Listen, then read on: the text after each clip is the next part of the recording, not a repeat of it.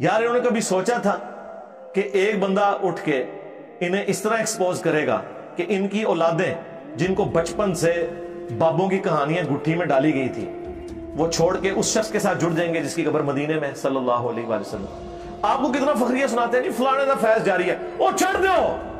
सारा ने फैज डुब गए। एक यूट्यूब की वीडियो, एक मेरा नारा। ना! सब कुछ लै गया। तो ये करामत नहीं है। करामत यह है कि अल्लाह का कर्म हो जाए किसी पे, किसी की दुआ कबूल हो जाए, किसी की एफर्ट अल्लाह ताला कबूल कर ले।